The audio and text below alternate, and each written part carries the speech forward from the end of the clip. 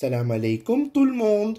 Je suis Hassan et j'espère qu'aujourd'hui je pourrai répondre à toutes vos questions concernant le deuil de l'imam Hussein alayhi salam. Alhamdulillah, nous avons de la chance d'être musulmans et encore plus d'être Shia, ce qui signifie des partisans des Ahlul Bayt alayhi salam.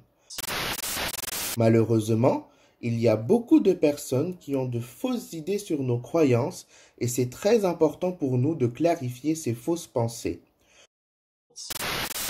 Je voudrais vous aider à mieux comprendre notre belle religion. Bon, il est maintenant temps de répondre à vos questions. Notre première question est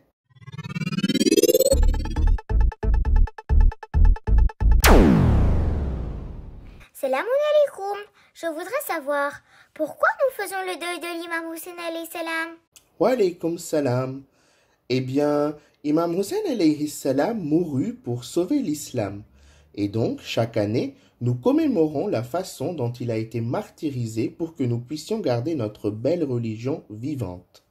Imam Hussein se souleva contre l'injustice qui régnait dans le monde et cela nous encourage à faire de même et de nous soulever contre l'oppression dans le monde. Se rappeler l'imam Hussein et faire son deuil nous est également recommandé. Imam Sadiq salam a dit que pleurer pour l'imam Hussein augmente nos bonnes actions et notre statut au paradis. Merci Sayyid Hassan. Kuda Hafiz. Je crois que nous avons une autre question.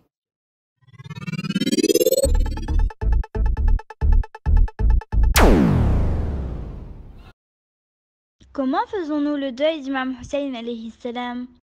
C'est une question très intéressante. Il existe différentes façons de faire le deuil de l'imam Hussein salam. Certaines personnes pleurent sur lui, d'autres écoutent des poèmes tristes sur l'imam Hussein qu'on appelle Latmiya, Marasya et Nauha. D'autres encore visitent le saint mausolée de l'imam Hussein. Il y a des personnes qui écoutent les Tazia, qui sont des récits de l'incident de Karbala, et d'autres personnes pratiquent le matam, qui est le fait de se frapper la poitrine. Merci de votre réponse. Kuda Hafiz. Rappelez-vous, Muharram est le mois pendant lequel l'imam Hussein alayhi salam a été martyrisé. C'est également le premier mois du calendrier islamique et un mois durant lequel Allah subhanahu wa ta'ala a interdit la guerre aux musulmans. Ce bruit signifie que nous avons une question urgente. Voyons voir quelle est cette question urgente. Sayyid Hassan, pourquoi nous frappons-nous la poitrine durant le mois de Muharram? Quelle grande question Ceci est quelque chose que les gens font quand ils se rappellent l'imam Hussein salam et ressentent une tristesse pour sa tragédie. Quand ils se sentent très très mal, ils ressentent un besoin d'exprimer leur désarroi et leur tristesse d'une certaine façon et de se joindre à l'imam Mahdi en commémorant les événements de Karbala. Merci Sayyid Hassan. Kuda Hafiz. Y a pas de quoi. Voyons maintenant quelle est la prochaine question.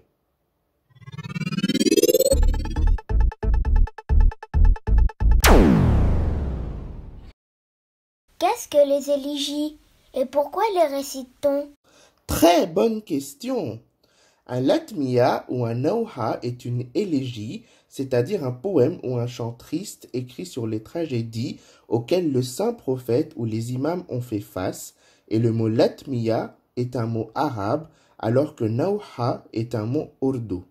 La raison pourquoi nous récitons des latmiyah ou des nauha est que cela nous aide à nous rappeler l'histoire de l'imam Hussein, des autres imams et aussi du prophète sallallahu alayhi wa alihi wa sallam. Jazakallah. Et pour finir, prenons notre dernière question pour aujourd'hui.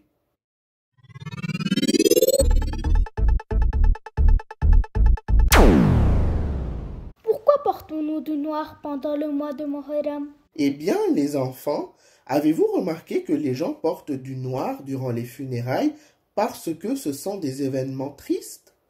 Nous ne sommes pas obligés de porter du noir pendant le mois de Muharram, mais le noir est la couleur que nous portons quand quelqu'un qui nous est cher nous quitte.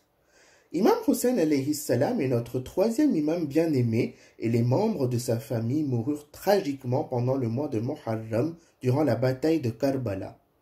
Comme l'histoire d'Imam Hussein et sa mort sont très très tristes, nous accordons notre respect à l'imam en portant des vêtements noirs pour commémorer les événements de Karbala de la même manière que vous souhaiteriez porter du noir quand quelqu'un qui vous est proche décède. Vous savez, la première personne ayant pleuré sur l'imam Hussein était le saint prophète Mohammed quand il entendit pour la première fois ce qui allait arriver à son petit-fils bien-aimé. J'espère que vous avez beaucoup appris aujourd'hui et je vous retrouverai bientôt pour répondre à d'autres questions intrigantes, inshallah. Jazakallah, Khuda Hafiz.